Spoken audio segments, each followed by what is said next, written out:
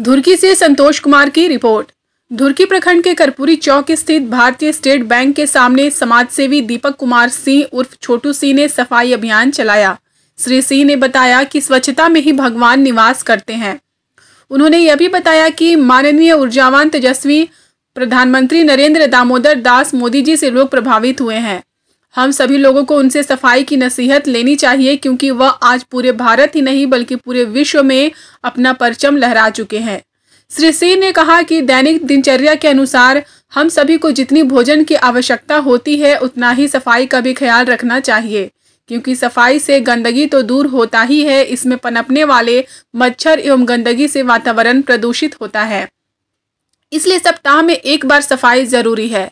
चाहे घर की सफ़ाई हो या ऑफ़िस की सफ़ाई हो या सार्वजनिक स्थल की सफ़ाई हो, किसी भी स्थान की सफ़ाई बेहिचक करनी चाहिए।